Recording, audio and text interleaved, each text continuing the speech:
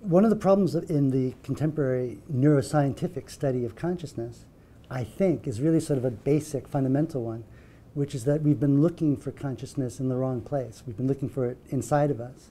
For me, that's a, that's a sort of profound mistake. It's a little bit like trying to find the dancing in the musculature of the dancer, or trying to find um, the value of money in the chemical composition of the dollar bill.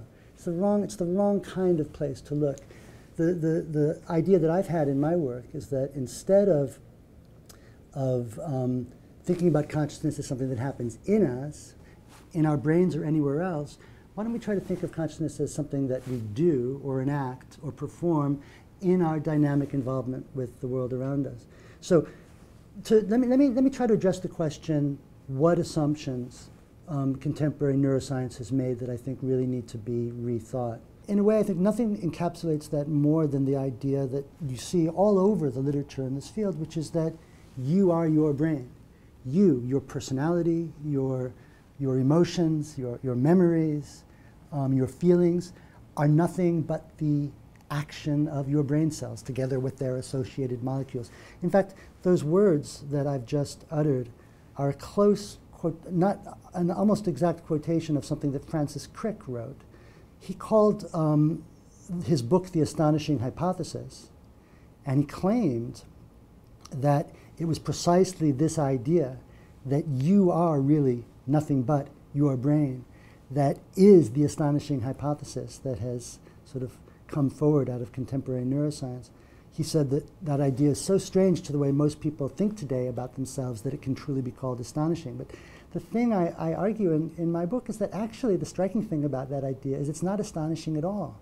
The idea that consciousness is inside us, that there's a thing inside of us that thinks and feels, and that you are that thing, is an old idea. Now, in the olden days, the older generation of philosophers and scientists couldn't conceive how that thing inside of you that thinks and feels and is conscious could be your brain. They couldn't understand, couldn't even imagine how mere stuff, mere meat could do that.